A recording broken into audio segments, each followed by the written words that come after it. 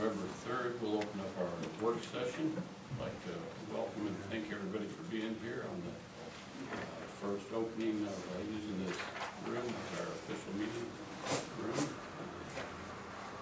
Everybody, please sign in if you would. There are some cookies over there if you'd like one. And uh, please silence and shut off your cell phones, we appreciate that. And with that, would you please join us in the pledge of allegiance? Allegiance to the flag of the United States of America and to the republic for which it stands, one nation, under God, indivisible, with liberty and justice for all. Additions corrections to the agenda, we have two additions, American Tower lease agreement, and uh, Crane Plus, is that a plus LLC, Dave? Or is it just Crane Inn LLC? Crane Mountain? Crane Mountain. Ah, okay. Is there any other additions or deletions at this time? There is. Um, the board, what, what is there, any additions or corrections? No, but I, I just wanted to make a quick comment, since this is our first board meeting here today. We've been involved in different, uh, capacities with our, our, uh, facilities property manager, but in the, your, uh, christening the the boardroom for our first commissioners meeting, I think I'd like to, on behalf of the board, thank Dave Berman personally, it it wasn't an easy task, we're not completely through, but we're, we're seeing light at the end of the tunnel, and I know you worked with all of us and people in the courthouse. Pretty tough go to do what you've done, but out of it, I think we're all very, very, very proud of what we have. Just want to thank you personally. Thank you. I have that, it gives a professional touch for the people, and that's very important. Thank you, thank you very much, Dave. And, and with that, uh, I did want to take the time right now during our board meeting, uh, to acknowledge the certification that, uh, the sheriff has got, Sheriff Taylor. Uh, there was a, a small get-together and appreciation, but thank you for your dedication to Lake County. Thank you for all the hard work and coming back to that certification to serve the people of Lake County. Thank you very much, Sheriff. Thank you, sir. And while we're on the subject, the governor, former governor, the Katia Award, that, uh, I don't know all the ins and outs, but I do understand that it is the first time anyone from Lake County has received it. Uh, it's the most prestigious honor that anyone in the Cadett can receive, and our sheriff was the recipient. It was, uh, well deserved, I'm quite sure. Thank you. Alright, So we're gonna move along with our agenda. Uh, I believe there was a request by somebody to be here at nine o'clock. If That person's not here. Okay, so we'll move along with our agenda. Uh, two thousand fifteen sixteen ODF and W payment in lieu of taxes, uh, ratification here. Larry Reader, come on up, please. And today's work session, we won't be doing any action items, we'll just be, uh, getting, uh, information and acting tomorrow. Okay. That's the yearly payment in lieu of taxes for Fish and Wildlife that we do.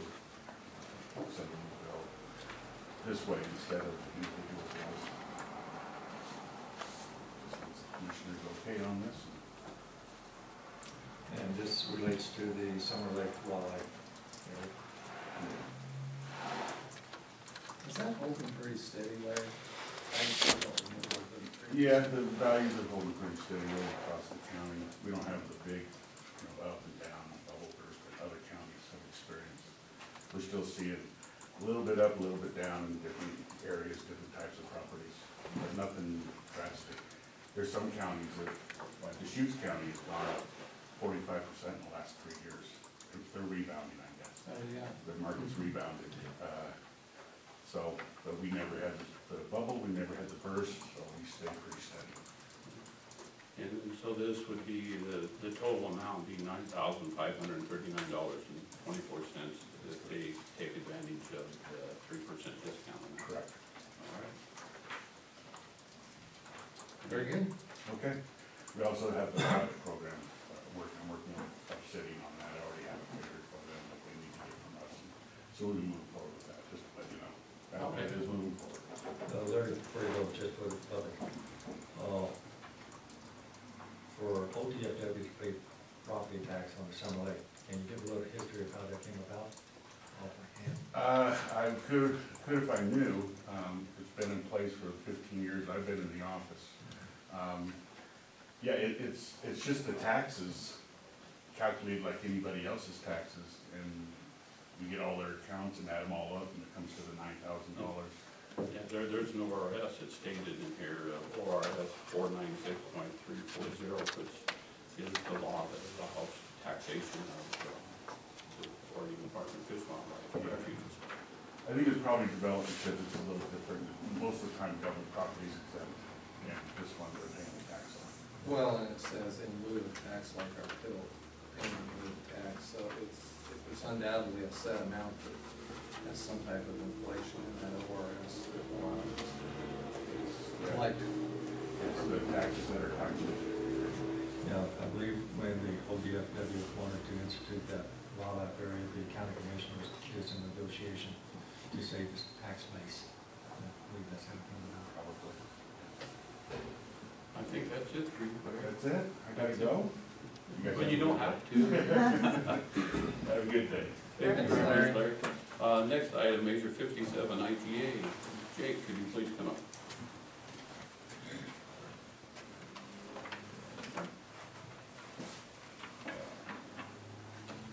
What this is. Um, Historically, we've gotten this bare minimum for small counties is fifty thousand. Um, We have paid ninety this year, and what that goes towards is our uh, funding for our MRT program at Lake County Mental Health. And please, uh, say what MRT stands for. Moral reconation therapy. It's a cognitive-based substance abuse treatment program. Um, And I will be back in the coming weeks with our with mental health to obtain this money in the, in the appropriate channels. This is the first step in the process of getting the money from the state. So, uh, we took this to LPSCC, shared it with LPSCC. Um, There wasn't a lot of questions, but this isn't a LPSCC um, approval piece, there's no piece to that. Um, It's just, we type up how we're gonna spend the money and what we're currently doing, and that's in there, I believe it's after page eleven. Um, Is how we spend the money, the people we focus on, this is my budget, I got the wrong stuff. Could you put the microphone up closer to you? Wow. But, I can hear something. uh, Just want to make sure it's working. Okay. It is pretty soft up on this side for us to build it here. You're just a guinea pig for us to check out the system. Okay. So with that being said, um, the outline of how we do the program, um, is after page eleven. Uh, it talks about how we, uh, the treatment intensity, dosage, um, the assessments we utilize, the population that we serve. And it's always been on high and medium folks, the risk out, high and medium, and have a sub, uh, substance use problem, more specifically, nothing but alcohol. So we kept the referrals flowing to mental health, that's been a huge, huge benefit for us, having that program. Um, also with our treatment court, uh, that's also relieved some of the pressure from our MRT program, because at one time we had a wait list. We don't now because some of those folks are falling into our treatment court program. So, And it, it's a fiscal impact, uh, revenue coming in at fifty thousand we have dollars. fifty thousand for the biennium, so it's twenty-five thousand here, Correct. Is that state or federal? state.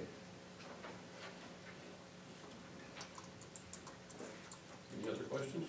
No. Go back on it tomorrow, okay? Thank you, Jay. Thanks, Jay. And as always, there's always an open invitation to attend our treatment court. Yes. We get there. For the next two months, it's gonna be the first and third Fridays at eight o'clock in the jury room. And then we move into the courtroom at nine o'clock. Thank you for the invitation on these times, I don't. What time's that start, Jake? 8 o'clock. We start, we meet in the jury room for staffing, then we move to the courtroom at 9 o'clock for the court process. So we'll go this Friday, and then again on the third Friday. We're usually the second and fourth, however, in November and December, the holidays fall on the fourth, so the judge didn't want to have to wait a period of time in between, so we bumped it up a week, so we go first and third for, for the first two, in November, December. Okay. Ginger? What was the time again, I'm sorry? Eight o'clock in the morning, and we meet upstairs in the jury room. So moving on down our agenda, our next is a Town of Lakeview funding request. Uh, Mayor Wenzel, welcome. Come on up.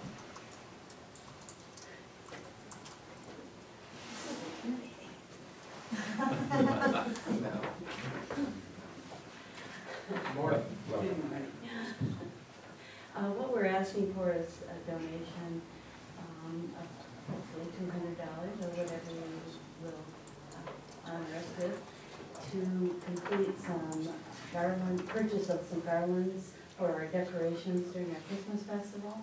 They cost about, uh, two hundred and sixty or seventy dollars each, but they will last for a number of years. We'll, we'll keep them at town hall.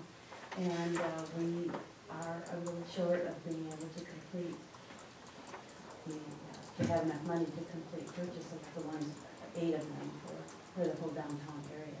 And when you say downtown, you're talking about East Street. Yeah, yes. mhm. And so this is your next uh, phase of getting more decorations throughout. Exactly, yes, uh-huh. This is, you know, the last few years they've been doing this, it's been pretty successful, and so we just want to continue to make things very festive for people. Okay, um, can I ask, is the lighting of the Christmas tree location changing or the same place? It will be at the same Be place. at the same place, okay. Do you have a date on that? Uh, I believe it's December first, is it? Yes, it's always December first, December. regardless of the day of the week, it's December first. We'll take this under If- consideration if I- for tomorrow. May I add just a little bit, uh, Sure. I- some of you may remember a number of, it's been many years ago actually now, that there was a, an accident west of Lakeview, and a lady by the name of Mary D. Wampler died in a car wreck. And they had, to- they created a memorial fund in her, uh, in her, uh, remembrance, and as a result of that, there's some money that was left, and they're closing that out at this time, so they have donated a thousand dollars from that fund to this project. Uh, in addition to that, a couple, at least a couple of local people are purchasing, uh, like they did on East Street, and I think the county participated in that project with one or two. Um, So that's happening again on, on East Street, and, uh, but we're a little, we're a little short. I wasn't at the meeting last week, so I've been kind of filled in as to what took place, but that's what we're trying to do. All right. But the overall intent is to kind of brighten up the community with Exactly, vitality, yes. with pride. Yes, we want to do that, make people feel like they can shop downtown and, and stay here, and the whole town looks nice, the downtown area, you know? good, In addition to the light. thank you, man. Thank you very much. Uh, Denise is in the Cornell coming for the, we talked about the board She said she was going to. Okay, so we'll skip over the next item and move on down to uh, Board of Property Tax Appeal Member Recommendation. Do we need Stacy here for this, or I don't believe? I don't think so, it's just our annual appointment of opera members. Okay, so what we have before us is uh, for our operative members, uh, the recommendation from the clerk is to appoint King Kestner, Chris Wade, and Deanna Wall. We can do that tomorrow. Yep. Yes, and Any of you guys, I've been on it for basically nine years, so uh, like to share, it's, it's a good experience. There being nobody comment on that, we'll move right along. Try. So, we, we will appoint those recommendations probably tomorrow. Um, next is, uh, uh, and I believe that we won't have discussion about this today, social media policy recommendation. That has come to us from legal counsel. Uh, he's the one that will answer any of our questions, so for today, I don't want to get into that unless you guys have anything. Will Jay Collins be here also? Yes.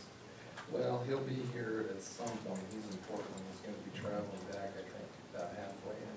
So, uh, Yeah, he's, he's over there. Okay, so we'll have further discussion on that tomorrow. Um, And, uh, I'll- just for the news media, yes, go ahead. uh, can you just give a little synopsis of what that social media plan is?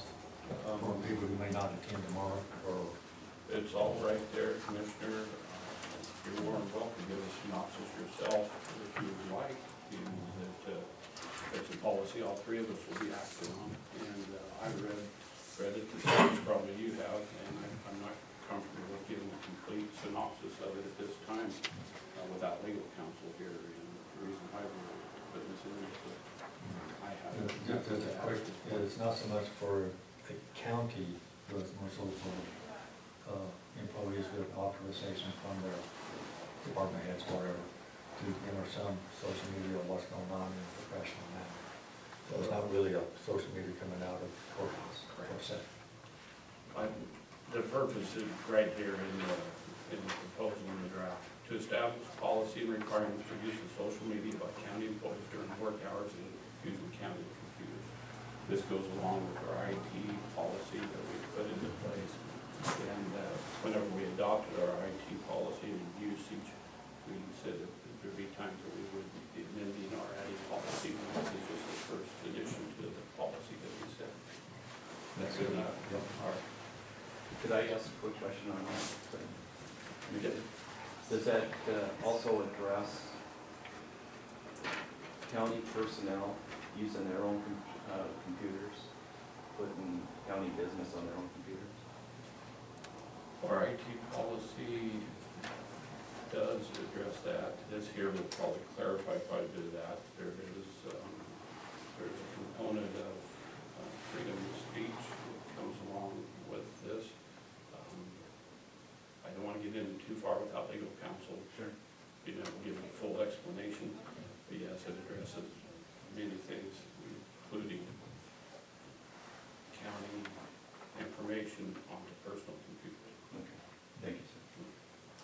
Clear as mud to you. Absolutely. But all right. Okay. Uh, I guess we were going to discuss that one a little further.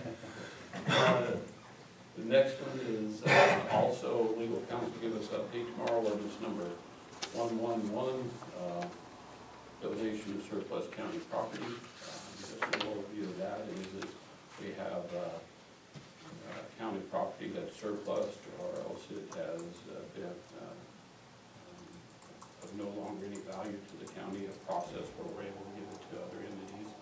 We've done this just not very long ago with the computer to the ESD. So this is just to, to allow an easier way to get rid of some of the surplus property that's depreciated out and is no longer of any value. When, when, once that's discussed, once that is discussed and adopted, could you forward that out? Because we, at the adult department, have some, we've had an abundance of stuff just stored before my time. We're trying to go through it, we, I didn't know the policy, and I was gonna follow up with that until I saw it on the agenda for today. Maybe touch base with me too, because we have other avenues to come in, what you have. Uh, Just for a little caption, usually any public property has to go through a public sale process, highest bid or whatever. This allows to, if there's a nonprofit or type of recipient that has a need and the value is relatively small, we can assist a nonprofit or others of that nature to fulfill their needs with, with uh, equipment that we no longer need. Very good, good enough. I'll, I'll await mine. Yeah, so I'll wait a when, copy. when we do, assuming we adopt this tomorrow, this ordinance, Denise, I'm sure can just send it out to all the department heads. Okay, Thank you. and roll it. But do touch base with me, because we have mm-hmm. other ways of Okay, any other questions on that?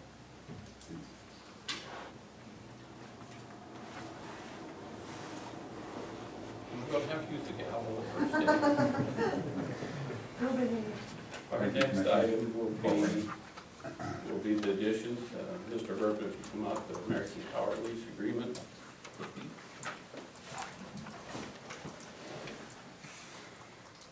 This is the second amendment to the lease agreement, that's what I read on the top, can you give us an overview? Yeah, when uh, American Tower took over Verizon on the tower up on, on the, uh, on Black Cap on the hill, uh, they offered us a one-time payment of, uh, fifteen thousand dollars to go into a longer lease with them or a, uh, a lease option that, uh, exceeds the lease of each of eight additional for five years, which that make it, we go into lease with them for forty years.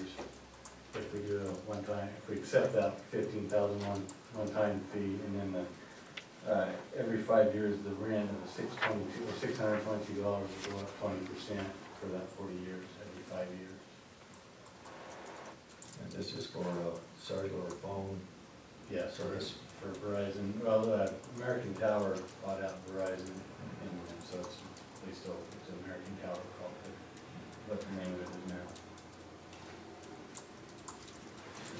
Do you have an individual that you're working with, Yeah, Mark, uh, No, you can give it to me there. okay, I can't remember.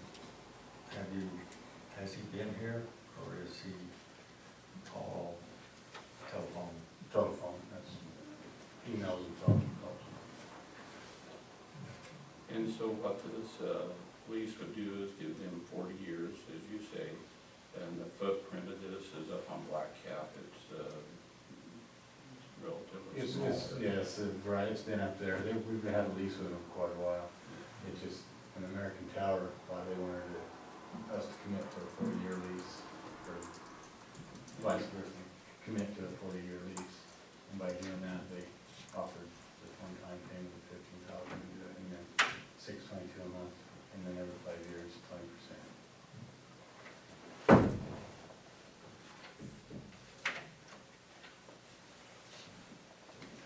I think maybe it ought to be similar to our cell phone leases from them, that they, that address and they have all kinds of extra charges. Um, Forty years, just that seems a little long. I don't know what your discussion plans are, and they, I'm sure that they're after certainty. They're just, at- yeah, just, uh, So, so what's our current lease? What's the amount? Is it just the monthly payment? yeah, it's just a monthly payment right now, six twenty-two, and then it's every two years, we look at the lease, or two, three years. Six twenty-two a month now, Mhm. and if they give us that fifteen thousand, and then they don't have a monthly lease, No, they do. then it's that continue on. at Yes, and then like I say, and then when the fifth year comes, it goes up twenty percent, twenty percent, for, for eight times, with a eight, eight, five-year lease term.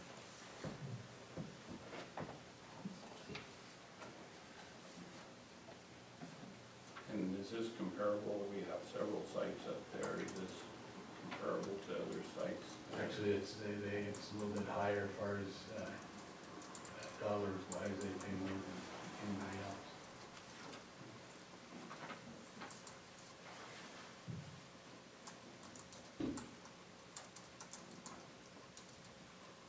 Thoughts, questions? Yeah, just study it over the next twenty-four hours. Legal counsel, obviously. is- Yes, legal said it looks fine, it's all good. I, I guess what I'm saying here is, Dave, as these things come along, forty years seems like a long time Mhm. too, especially if we're the only one to raise the rent every five years also on top of that. And we're, cost of living goes up basically every year. Um, Is there any, any, pla- any way we can get a comparison to other communities that have these leases and everything? I can look into it all. Yeah, Some research. it's just sort of one of those things that, um. They come, they come to, came to me, and, uh, I got a letter, and then they also emailed me, so it's just something that I was working on, so I, I thought it was kind of good. I, I'll be honest with you, I have not fully read all of it, obviously. um, Well, it's about a four percent raise every year, I mean, that's what it works out to. But the compound part, it'd be interesting to compound that out, I just kind of did in my head, seventy-five hundred, nine thousand, ten eight, someone subway students and see whether they go to that term on an annual basis. I'd like to sort of hear some compare, compare. The, the cell phone companies uh, seem to make a lot of money off those of us that are users. And sometimes they want to give a lot of benefits on the other end. Yeah, we are blessed to have good cell phone coverage. on Verizon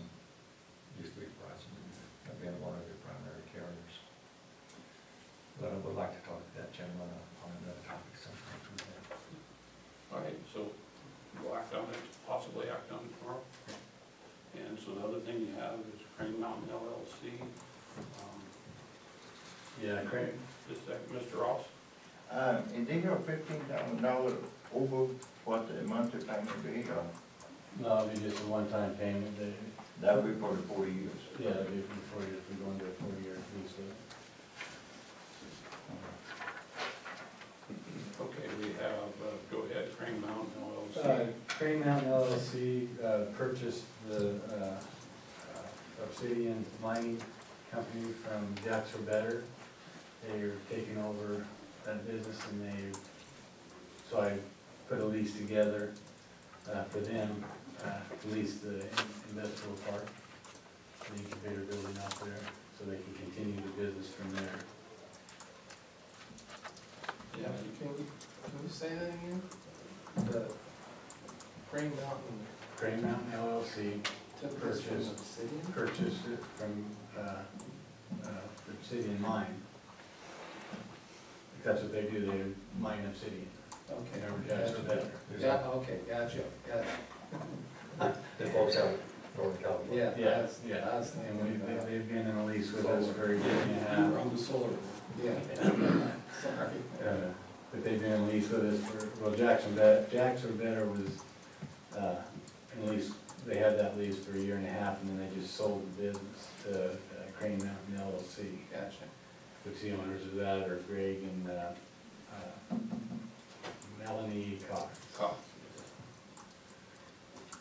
Okay. So they wanted to lease, just keep the lease going, but uh, we have to start a new lease for them to Gotcha. Just change, change the ownership Change of the the company while retaining the uh, industrial facility. What did we say today? We said coffee? copy. Coffee, okay. All right. We'll act on that tomorrow also. Thank you for your work on that date. Requested on that. So we, Kim still hasn't shown up. I'd like to go back, or we could go, I can tell you what I know about it, if you want. They just had quite a few of their previous, um, members have either transferred out of those job positions, um, or moved, or they are expired. So the majority of their board had expired, all but one member, so that's, it- by, by the, the paper we got is pretty, it looks pretty self-explanatory to me. I think mm-hmm. that I'm comfortable acting on it tomorrow. Yeah. Now, when you say expired, you're not talking about the people, but the terms. I didn't ask that question. I guess I could give you a rundown on that. later. But basically, it's filling the seats Correct, that are vacated. that would be correct. Okay, uh, do we have any department updates today? Uh, Jake wants to, I just have, uh, next week on the, on the tenth, which is Tuesday, I'll be in Salem for a meeting involving our uh, Justice and Reinvestment Grant. Um, as, as you remo- recall, Lake County was awarded about $178,000 in justice reinvestment. Ten percent of that went to victim services, nonprofit victim services in Lake County. The rest of it went to fund our treatment court for biennium. So for treatment court, we got about hundred and fifty-five thousand dollars, so about seventy, just over seventy-five thousand dollars a year to help fund their justice reinvestment, our uh, treatment court. Well, they, uh, the October forecast for prison population has gone up from where it was forecasted a year ago. So there's conversations being had within the Department of Corrections and around the state of opening the rest of Deer Ridge Correctional Facility, which is located in Madras. Having said that, if they do that, their plan to fund that is to pull our second year justice reinvestment funding.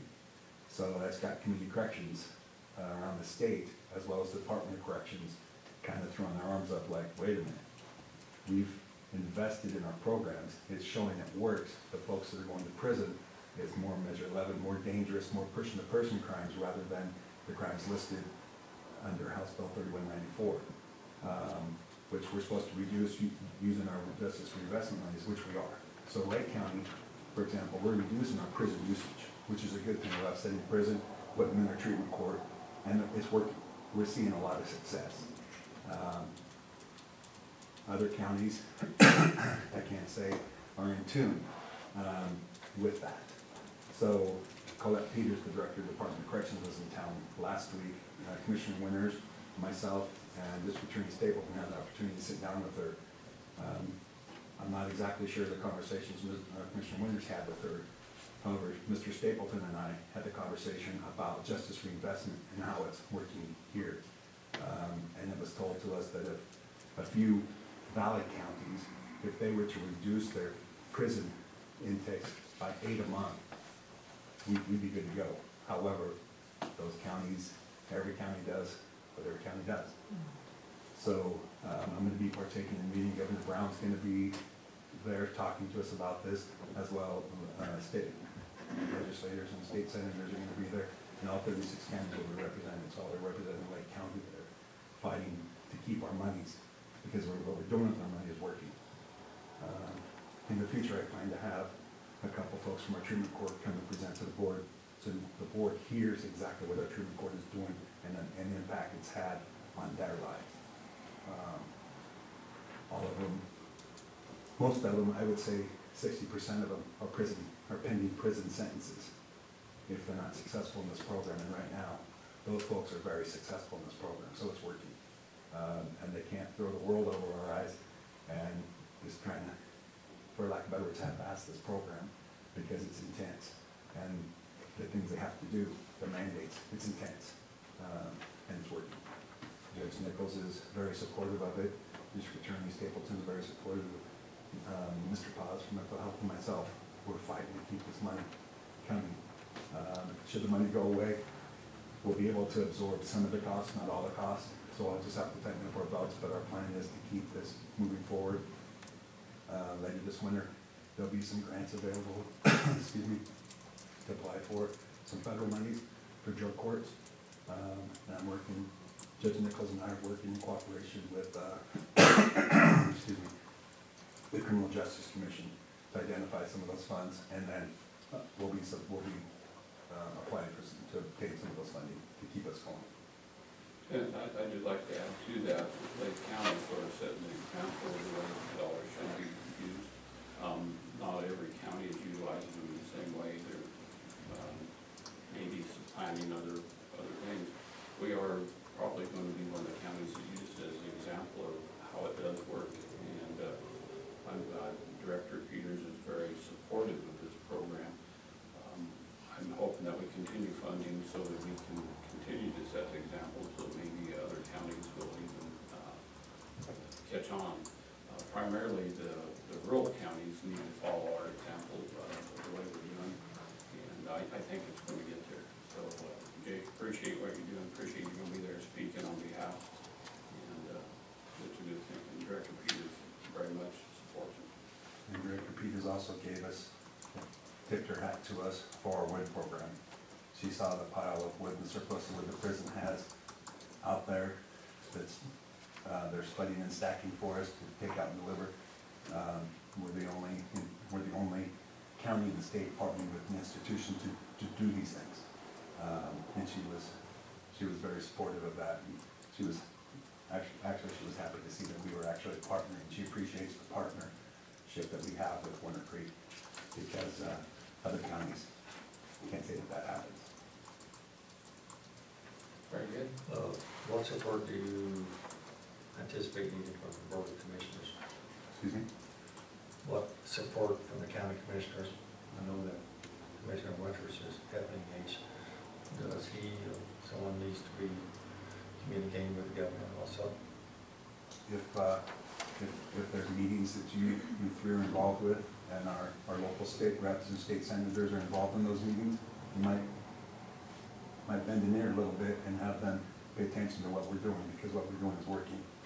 Um, again, my intent is to have some of our participants come and share with you how this has changed, how, how our treatment court and money, the way we're spending our money has impacted their lives.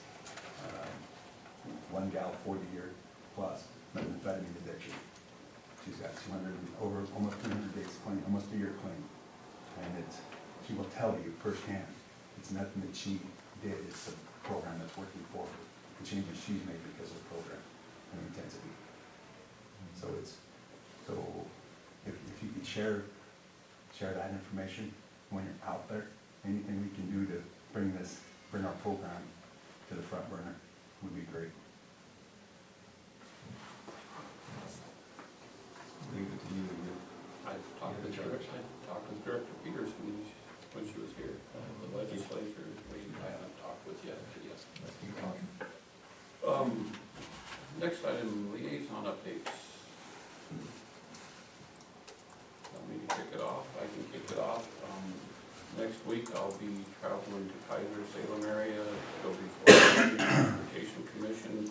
It'll give an opportunity for me to talk about the, the state dollars, the STIP dollars, state transportation improvement dollars to, uh, the, the commission in the process, as we all said, as uh, said on the area committee on transportation, the process is very heavy for the little bit of dollars that come through. As you know, we're working on the nineteen to twenty-one STIP now, and it's roughly nineteen million dollars, and it's not much money as far as statewide for our, our region projects. Um, it's a lot, it's a of process, so give me an opportunity to talk about that, some of the struggles there. It'll give me a chance to, as I get the chances to promote one forty east, compliment on one forty west, work on, uh, thirty-one, and three ninety-five is freight routes, um, as we're doing our uh, TSP Transportation Systems Plan uh, locally here. Um, Thirty-one is not a freight route, it's not designated a freight route. Uh, We have roughly twenty-five thousand hay trucks a year come out of Christmas Valley area. Um, I will try to do a sidebar to push and get that designated as a freight route best I can, find out a process for that. So great opportunities here in the week for me to be able to talk to the influential decision makers. Uh, The governor's supposed to be there speaking also. I doubt if I'll get any time with the governor, but I try. Uh, Get a little bit of time there. Um, With that, um, like I said, I'll be traveling actually on Wednesday, which is Veterans Day. I'll Be back on Friday afternoon.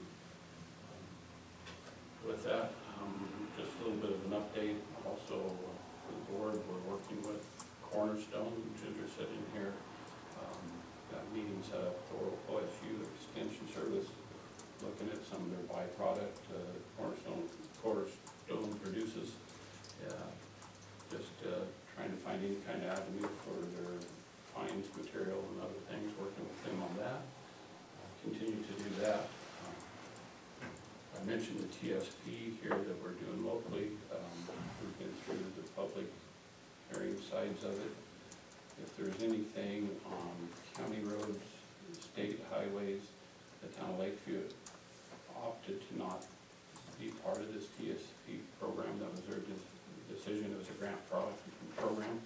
Uh, City of Paisley is in there. If there's anything that you think might need to be put in that TSP as far as a bad curve, road corrections or anything, there's no money. If we put them in there, to check one more box when their grant comes available, that it's in our transportation plan for it to be approved. So, uh, think about that, get it to uh, myself or Rick D'Amelio, we'll make sure it's on there if we haven't. Um, Denise, she, she was in it, uh, talk special transportation. Um, Planning director was there, uh, we're trying to be as rounded as we can on that.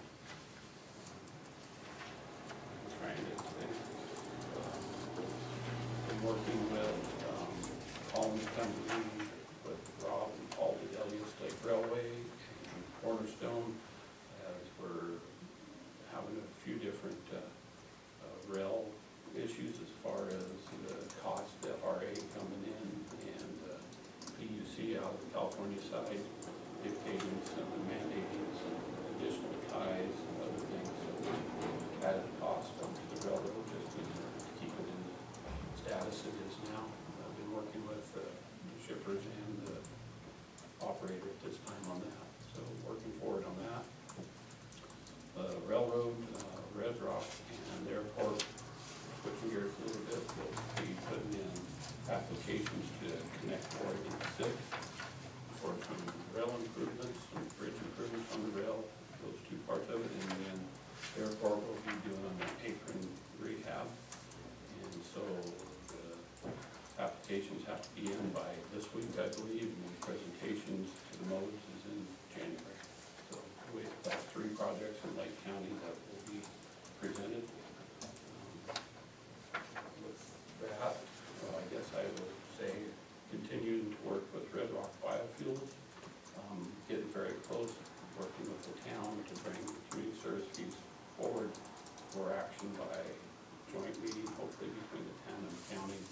Should see that sometime here in, um, in probably November, the last part of it. Did you include the two hundred dollars in the negotiation? I did not include that two hundred dollars. Would you like me to work on it? Yes. And that's probably enough for me. Somebody else on Uh, just a couple of things. I had a uh, conference call yesterday with a, a number of folks from the FedEx companies Commissioner Winters alluded to with their Red Rock Biofuel project. Uh, One of the uh, contractors for the fuel itself is FedEx. And through a discussion I'd had with uh, Mary from Red Rock here a few weeks back, she was really intrigued about the forest health aspect of uh, what was going on uh, with this and, and had a conversation with a gal named Jeannie Stevens with FedEx. She's kind of the communication director for them. And so, anyway, they had five different folks, I think, on the conference call with myself, and we just discussed, they're, they're very, uh, supportive of renewable energy, and they've wanted to get this in their portfolio since two thousand and seven, the FedEx company. They didn't realize all the potential spin-off benefits of doing this work. And so we had a very good, very long conversation out of that for, for Lake County, I think, the, some of the benefits besides just having the company here and, and more of a go in this process is, uh, Jenny indicated she wants to come out with a couple of their, their uh, folks from FedEx, uh, take some pictures, do some additional interviews. There will be a, a, she said it goes in her, uh, the, the writer-editor, uh, gal by the name Polly, I didn't catch her last name. Uh, Their news releases and stories go not only nationwide but international. I was very interested in how they communicate with, uh, specifically on the biofuel with our congressional folks. Because I think most people are aware of, the federal lands do not qualify as renewable energy, uh, utilizing biomass, and as I refer to it in the story, slash stuff that nobody wants a contributor to wildfires. And we need to get the definition tied down a bit closer, but out of the conversation, she said they will, all, all of our delegation will be getting a copy of this, because there will be multiple people interview Jeff, and, and different folks from Red Rock will be. Uh, I suggested that they get a hold of the agency, even though they have to take more of a neutral stance, at least they can talk about the benefits of having little to no cost involved in cleaning up on-site a lot of this slash that's, as I said, is a contributor to our, our large wildfire problem. Even if we only look at it in, in the sense of Klamath and Lake County, it's a starting point.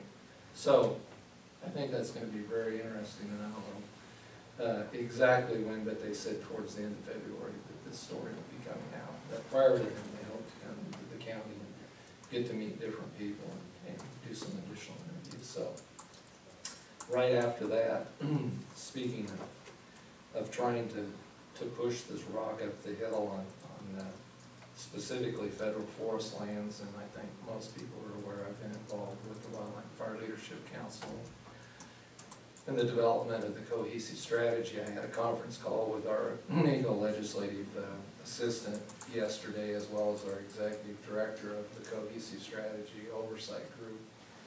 And in the Ledge Conference, that will be coming up at the end of February, NACO, the National Association of Counties Legis- Legislative Conference, they would like uh, for myself and Mike Zupko, our executive director, to do a, a presentation both to the Western Interstate Region Board of Directors, which is fifteen Western States uh, members. There's thirty folks involved in that, as well as the National Association of Counties Public Lands. And I made the suggestion, because we work pretty closely with these folks, uh, that we get, the chief typically is there of the Forest Service, Tom Tidwell, but we get Chief Tidwell, we get uh, uh, Director Kornze from the BLM, and a couple other key members to kind of communicate how important it is that counties out there start to get educated in what the cohesive strategy is, because we really do believe it'll be the future way of doing business, because it's an all lands approach, all hands, that's how it's referred to, it's bigger, better, faster.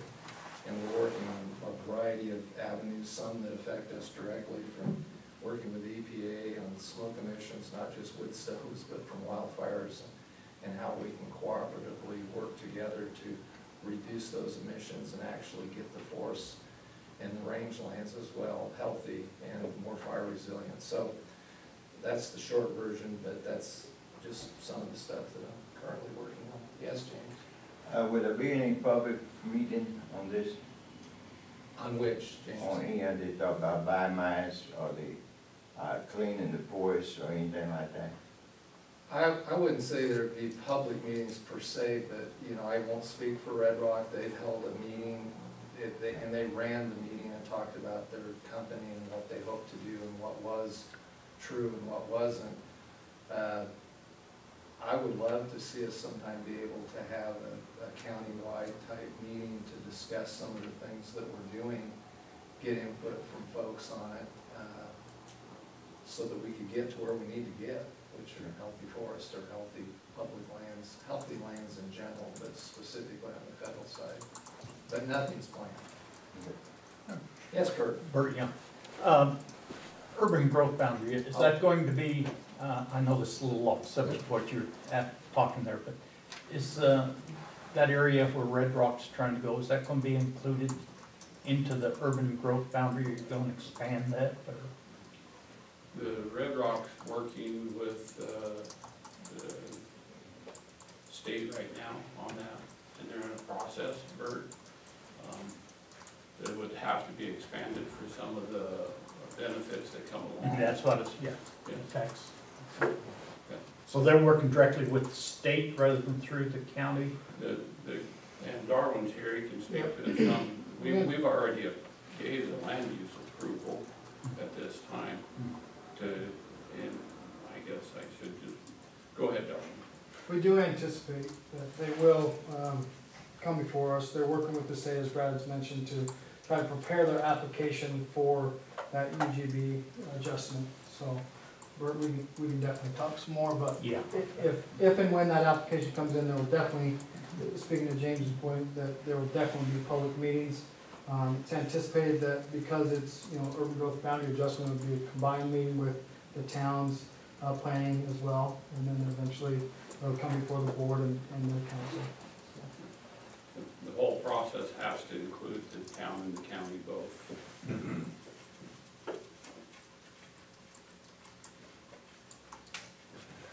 Uh, As you know, last Thursday, I went to Adrian, Oregon.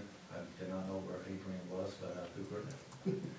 Uh, Representative Bentz, Cliff Bentz, uh, that represents my resident, my house, Yeah, we do.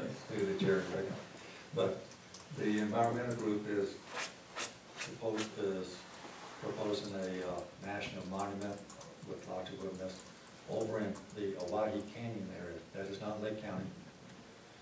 But it's just another domino effect of trying to get lands. Well, they might say how many acres it is. Uh, two point eight million acres to protect the canyon. Uh, I represented the county as a voice on that town hall meeting.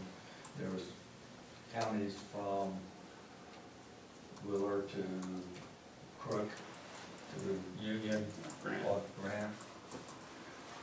Uh, basically, uh, during the last year of the presidential term is usually a- an abundance of uh, legacy destinations, like national monuments, things like this.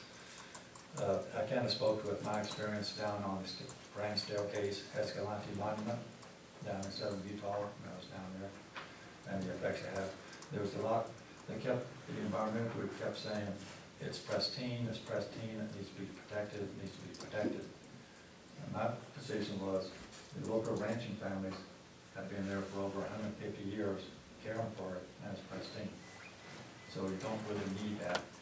The biggest aspect of my experience in Utah is, once an area is designated, then even though the environmental groups say existing uses like livestock raising, like family ranches, and I emphasize family ranches, that's a passion of mine to protect them, because of their rural values, but also mining that is already in place. But my experience, and it happened on the Escalante, is that once a designation's made, then there's litigation, litigation, litigation, and it has ruined the ranching operation on that monument, and it'll be the same on this one. So I offered up to Malheur County Judge, Dan Joyce, that uh, we would compose a letter Secretary of the Interior or to the President. Uh, There's other ways to protect what's already being protected, that one national monument. And Sally Jewell, when she first came on, she made the comment, and I'm gonna hold her to it, that there's she made two comments. One was, if Congress don't act on designating, then the administration will. That, that was concerning. The second comment she made was,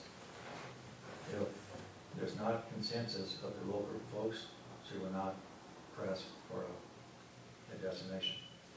So I'm gonna remind her of that when I compose this letter, whenever I've got time to do it. But hopefully it'll be a Mortac County letter, it carries a lot more weight than a single letter, especially, uh, at this time. But showing support to the other counties, because we also have things going on in Lake County at a big view, that because been going on for several years within the U.S. Fish and Wildlife Service Refuge Ranch about making that big view area part of, under Fish and Wildlife Service uh, administration, which, first thing is, their mission is no cows. And that would affect family ranchers.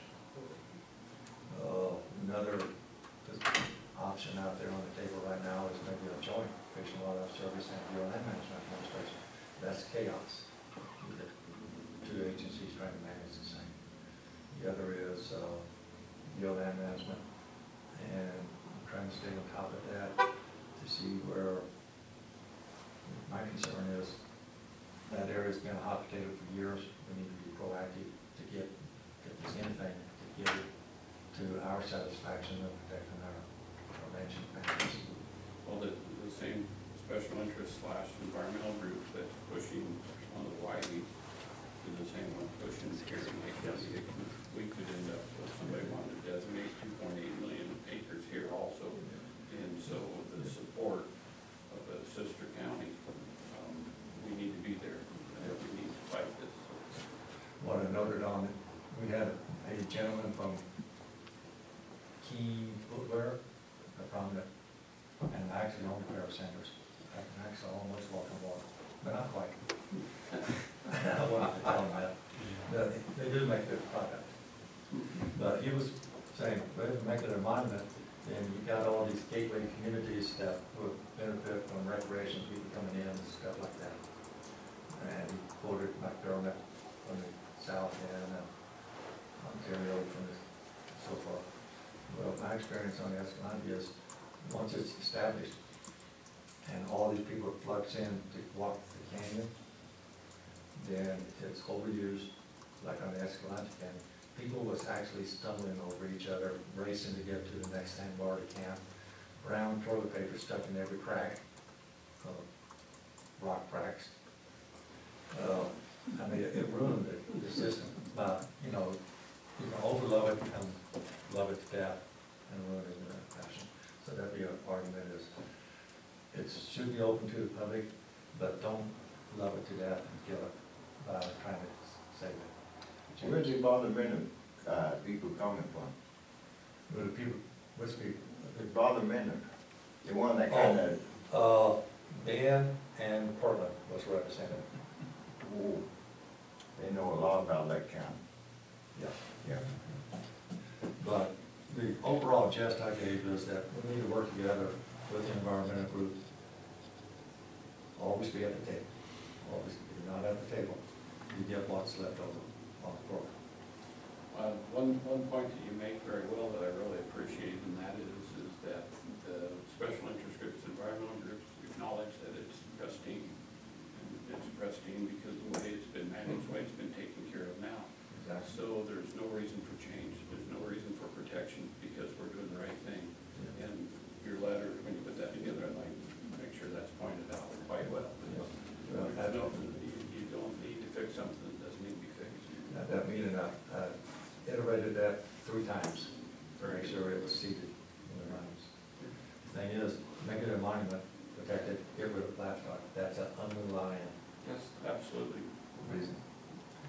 Uh, Also like to note that this Saturday, uh, Charlie Pike, uh, given lots of credit, putting a uh, Veterans Appreciation Dinner at the Elks. Uh, You're gonna be there, aren't you? I think so. And you too, Bert? I'm out of town, sorry. You'll be there in spirit. Yes. I'd like to all be able to attend if they can. Uh, Went to a telecommunication conference in Hood River a week or so ago.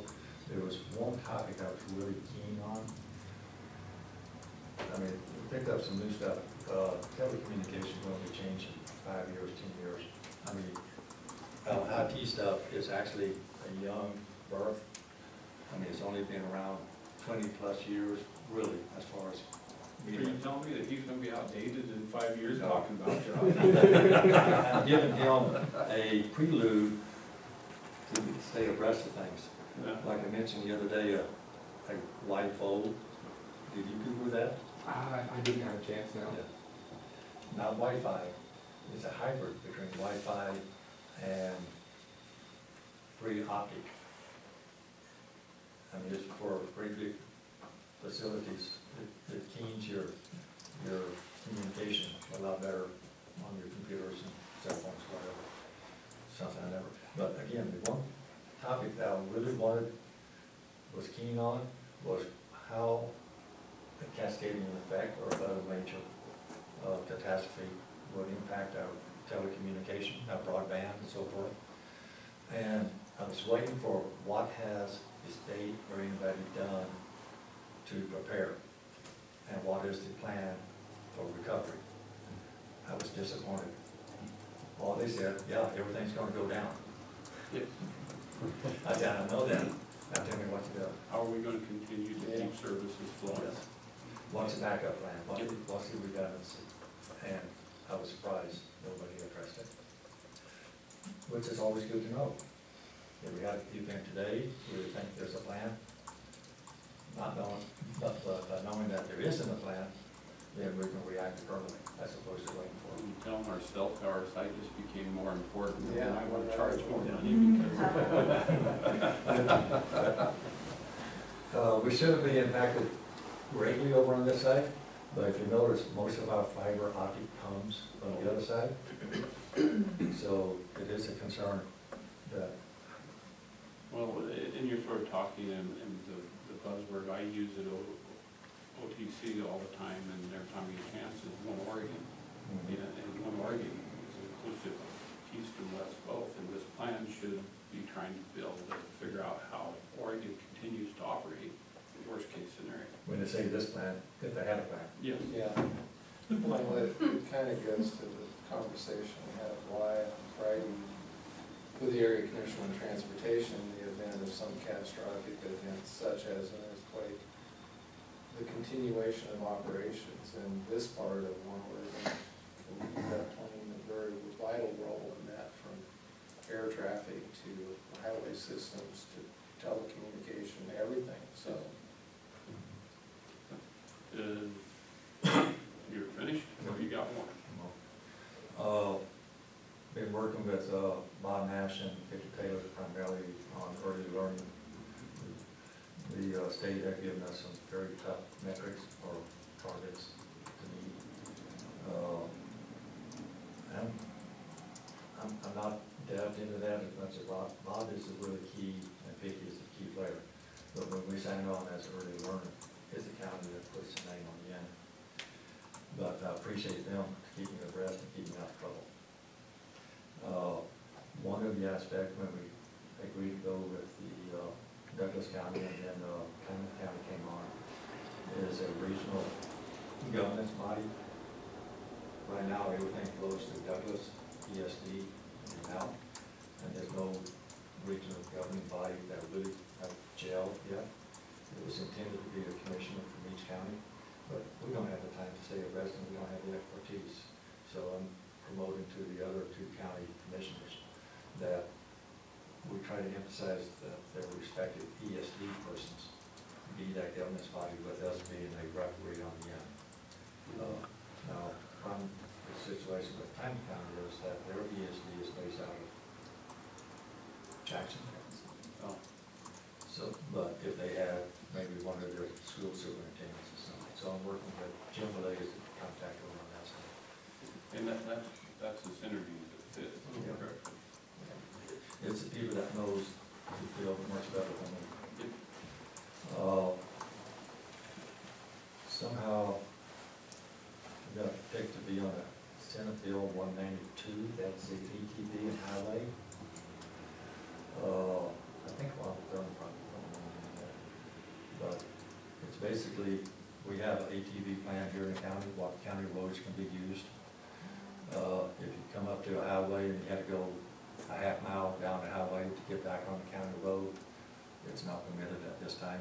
So we'd be looking at ways, how do we get the, uh, county road health plans with, uh, highway where it's appropriate. Could be just one ditch line or something. But Through, through the, the full session, they had quite a conversation on this, and are they gonna possibly act a little bit in the short session, is that what?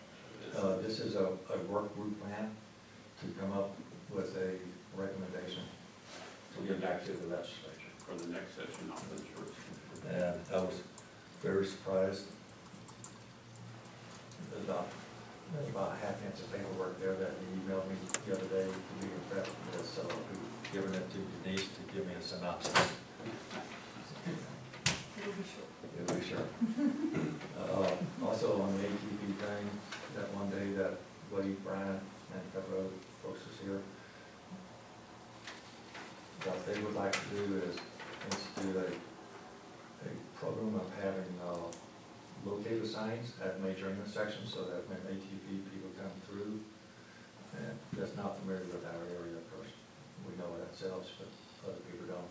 When we come up to an intersection, there's no signage there, they can punch in on the GPS to a program that they are developing, that say this is intersection such, and your ATV route, go to right. It doesn't have to be, it's not limited just to ATV users, it could be, uh, uh, anybody recreating.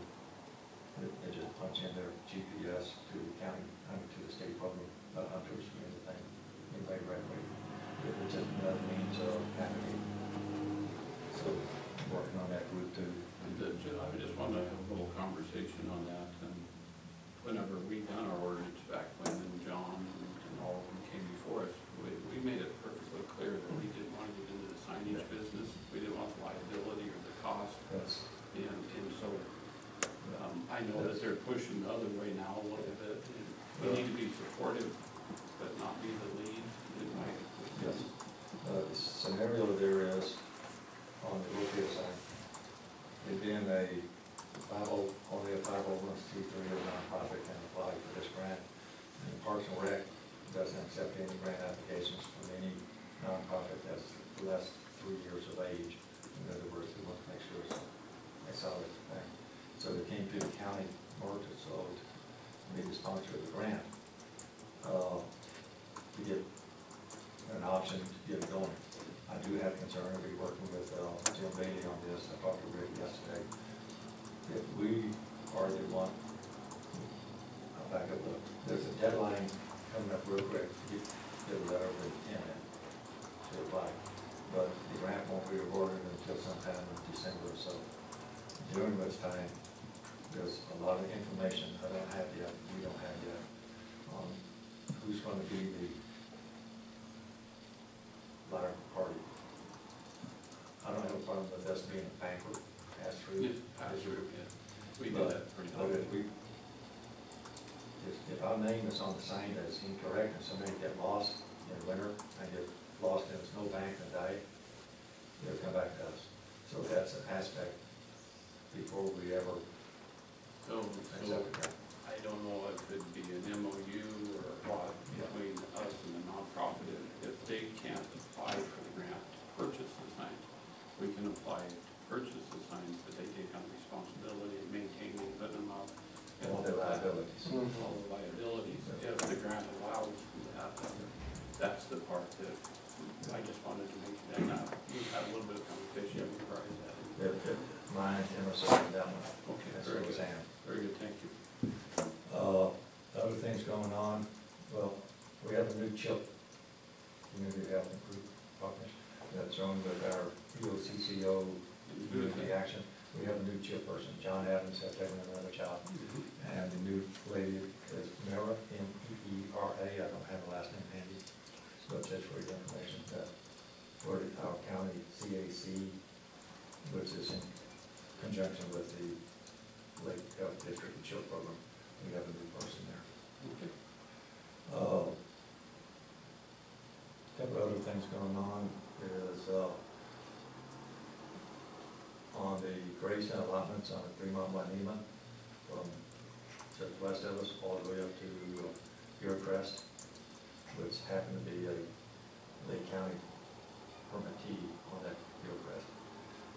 But there's, uh, yeah, Honda, not Honda, Brogan Mile, they all work kind of together. Uh, the, the Zoom, the Forest Service, and the U.S. Fish and Wildlife Service for not following their uh, management plans, monitoring and so forth. Uh, I met with John O'Keefe, and we covered Alcan County, we have some support. We're not in a real strong position, they're intervener, I don't think we want to be. Uh, Actually, we get into cost factor there too. But as I mentioned on the last meeting, looking at a lot of options, and one of the, I'll continue discussion with our legal counsel, just a letter of, to the court, uh, amicus brief, stating the, the value of those allotments. If, if the environmental group is successful, then the Forest Service would have to kick off the permittees, again, that's affecting our county ranchers. And I'll be drafting a letter, an amicus brief, and then if you guys peruse it and agree, it doesn't cost anything, all it is, is a letter to the judge saying the value of those ranching families to our communities, cultural, social, and economics. I other- definitely think we need to be there.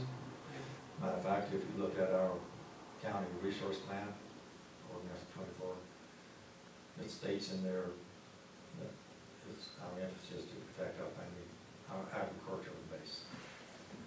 Uh, another scenario coming up is the Bioland Management Sage Grouse EIS that amend all the, uh, management plans locally.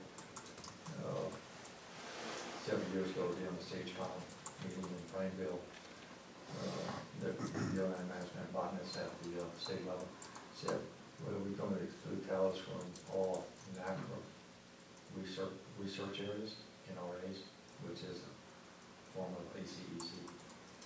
And I had to raise my hand and say, where's your proof data that it conflicts with sage grouse? We have one out here that is prime sage grouse habitat, and the cow's been on it for hundred and fifty years, so what's the problem? Well, they, the Bureau of Land Management during the CIS process went kind of in silence for about six or nine months from the cooperating agencies, while they worked out things to be compatible with, uh, other state Of Land Management and with U.S. Fish and Service. And then it came out with, you know, EIS about this big, which I don't have time to read. I'll pass it off to you guys. But it's still all NRAs, they narrowed down to a smaller number. We have three in Lake County, Bradley, Gravity, Fish Creek Well, Holy Lake, that says that cows will be off within five years.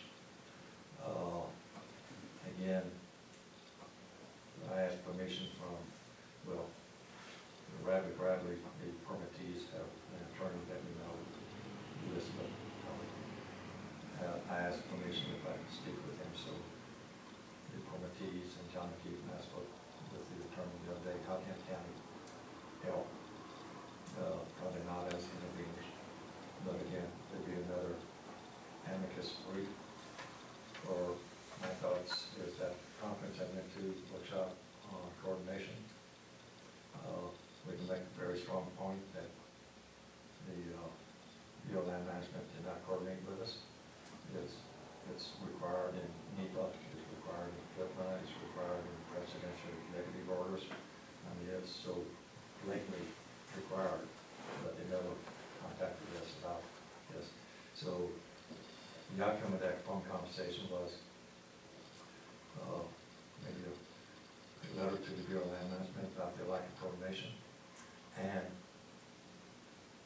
within there also reference our resource plan that addresses uh, agriculture, consistency and uh, social agriculture and economic values that goes along with it. So I think that's all. Oh, I went to the DEQ, uh, the Environmental Quality Commission, meeting. uh, Jim Keith is the of that.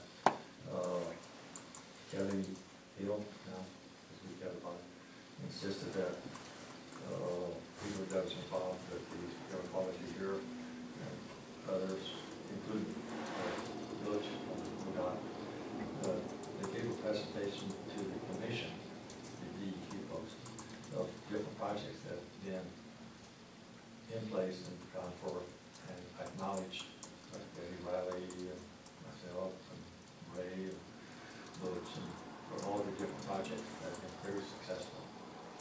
And, uh, thereafter I got appointed to a month work group. All right. Uh, Break my heart down. I think that's all I have. Yes. What you talking with RNAs, um, it's always, uh, I won't use the word interesting, disappointing that, that uh, BLM and other federal agencies have to react to what special interest groups propose. We propose this to get this. Yes. And, and, um, you know, someday we've got to, we as uh, cattlemen, as government agencies, have That's to a family ranch. these family ranchers are gonna have to be environmental groups of their own game. We're gonna have to propose this for grazing or whatever, this. And, uh, I'm just very disappointed of the way that, that it is turned, and a lot of it's political, a lot of it is, um, uh, just, it's a shell game. And It is. it eats up a lot of people's time, takes a lot of energy, a lot of money, and it's just frustrating. That's right. Because the environmental group, that's their primary job, so they give hundred percent Yeah, they're able to do it. Whereas the family rancher's got a hundred percent job, time job, running an operation, we have a hundred percent time job here.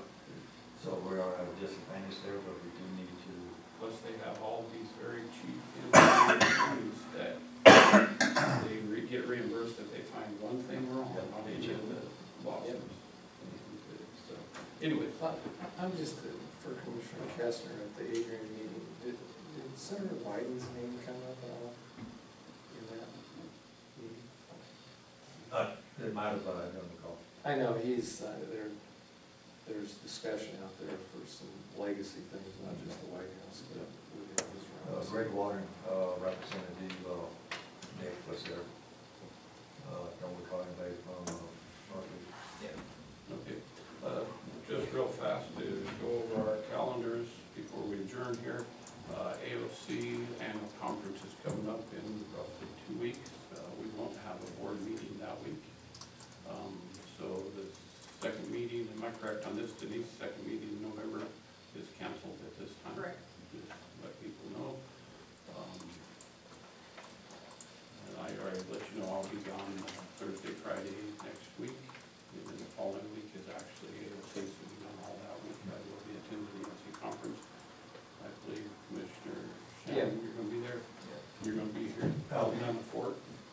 Except for the first two days. There's a early learning health, uh, conference in Portland on that Monday, and then a CCO summit meeting. Early learning and uh, the the oldest commissioner here doesn't go together, early learning. It's called wisdom.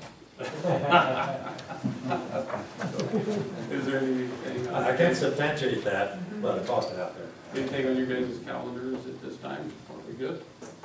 Good. We will adjourn at fifteen minutes after ten. Thank you, everybody, for coming. Please hang around and get a Absolutely.